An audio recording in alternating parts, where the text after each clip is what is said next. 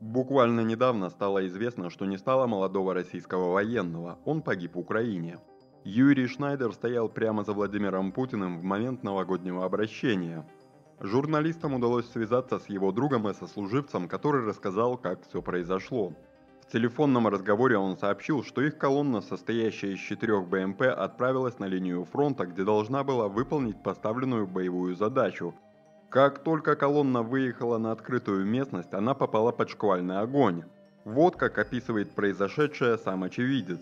Выехав на открытую местность, по нам сразу начали ебашить со всех сторон. Первую БМП разъебали в первую минуту к хуям собачьим. Никто из нее даже не успел выбежать. В нее пизданули из джавелина. Снаряд точно попал в машину. Вся колонна машин остановилась. Съехать с дороги было невозможно, поля заминированы. Отряду пришлось покинуть машины и отступить, понеся большие потери. По нам работало два пулемета.